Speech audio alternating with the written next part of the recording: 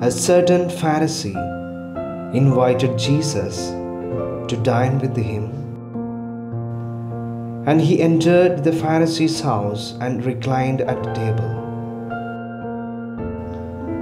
Now there was a sinful woman in the city who learned that he was at table in the house of the Pharisee.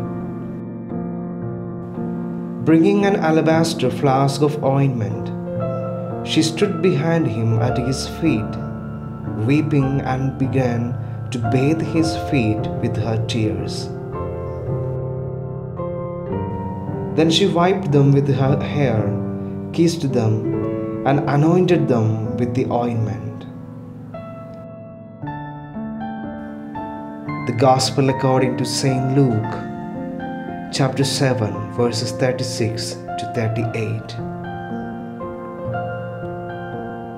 Let us pray.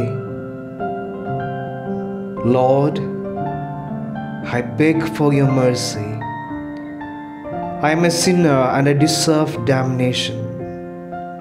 I acknowledge my sin.